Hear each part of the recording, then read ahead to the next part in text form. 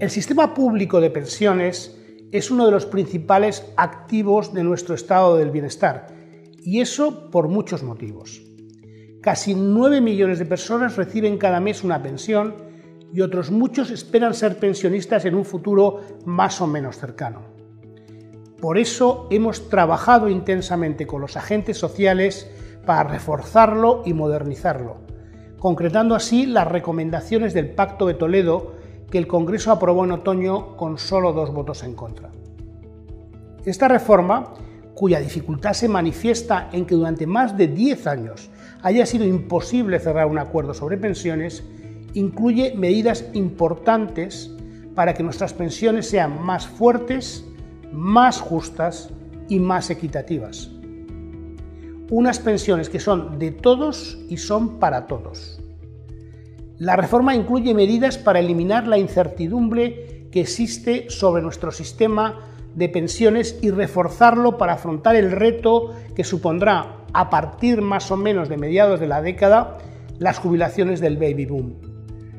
En primer lugar, incluye un nuevo mecanismo de revalorización que permitirá a todos los pensionistas conocer de antemano cuánto subirán sus pensiones, garantizando de por vida su poder adquisitivo. El 1 de enero de cada año, su pensión subirá exactamente lo mismo que haya aumentado el índice de precios al consumo medio del año anterior. El actual sistema al no especificar previamente la cuantía en que subiría la pensión, llenaba lógicamente a los pensionistas de incertidumbre. Con esta medida queremos acabar con esta injusta inseguridad. Esta es la medida central de nuestro acuerdo y con ella queremos que los pensionistas dejen de tener dudas sobre su renta en el futuro. También eliminaremos los números rojos de la cuenta de la seguridad social que tantas veces inquietan a los ciudadanos.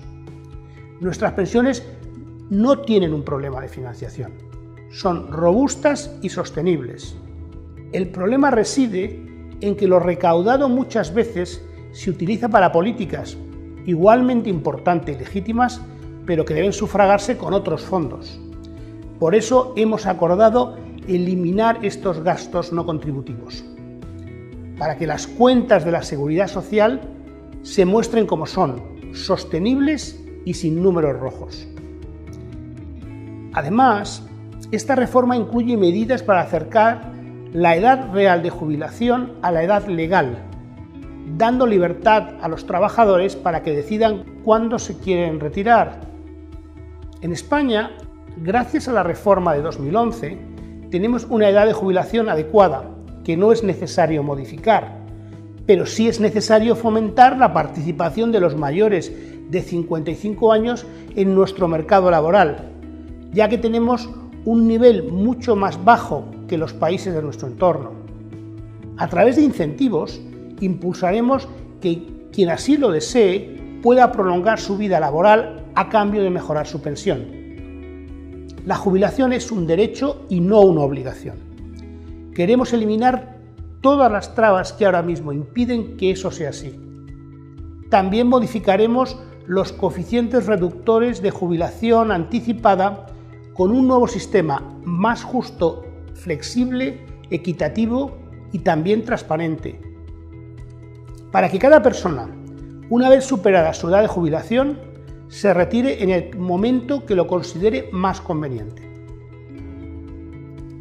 Otro de los pilares de la reforma será la cotización por ingresos reales de los autónomos, un compromiso que pondremos en marcha a partir de 2022 y que convertirá nuestro sistema de pensiones en uno mucho más justo y con mayor protección de los trabajadores por cuenta propia.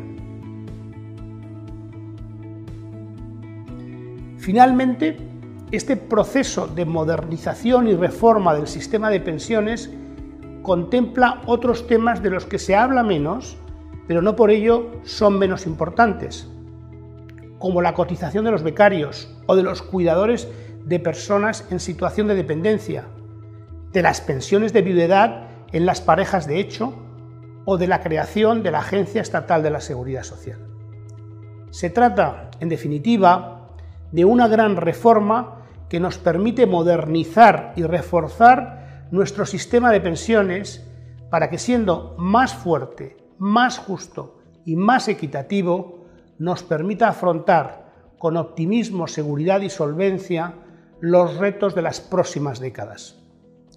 Porque estamos construyendo las pensiones de mañana. Es de todos, es por todos.